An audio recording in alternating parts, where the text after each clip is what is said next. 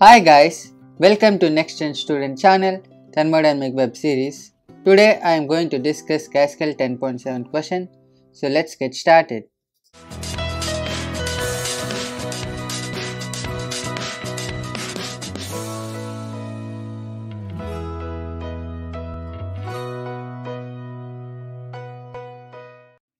So in this question, you are given a simple eutectic system containing calcium oxide and magnesium oxide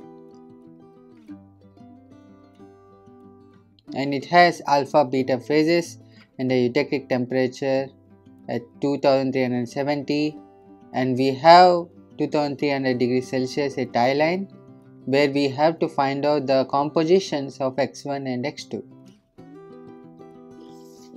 So if you draw the g versus x curve at 2300 degrees Celsius and take a common tangent, you have x1 and x2, g alpha and g beta and you know that for a common tangent the chemical potential at alpha beta phases for each component MgO and CaO should be equal. So look into page 339 and 340 in Gaskell textbook to get clarity of this equality of chemical potential.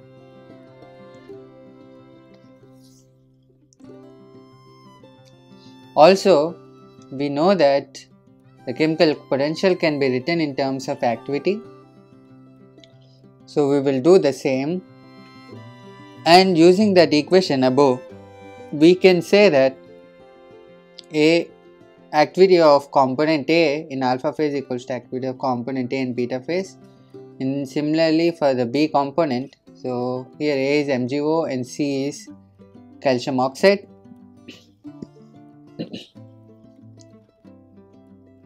So let's take first equation. And for component A MgO we have x1 and x2 so x1 is the maximum solubility of alpha 1 and x2 is the maximum solubility of MgO in calcium oxide.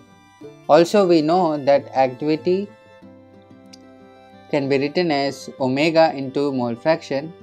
So here we talk about the calcium oxide solubility in magnesium oxide because it's limited. So that's why here we should use gamma into x. But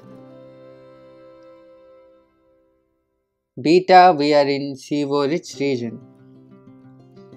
So here we talk the solubility of calcium oxide in MgO. So this is the equation that we get. If you have questions on this, please comment below. I will give more clarity. So now for the B component calcium oxide, we have the maximum solubility as 1 minus x2 and 1 minus x1. If you take from the right hand side. So we will use the same equation and here for calcium oxide we talk about the solubility of magnesium oxide in calcium oxide. So we have 1 minus 2 x fraction solubility in beta and 1 minus x1 fraction solubility in alpha. So for alpha we will use yeah so here again we talk about the solubility of magnesium oxide magnesium oxide solubility in calcium oxide. So here we use 1 minus 1 into 1 minus x1 equals to so please understand this. If you have questions please comment below. So that equals to 6.23 into 1 minus x2. So we will use these two equations to solve x1 and x2 and x1 we obtain as 0.066 and x2 as 0.85.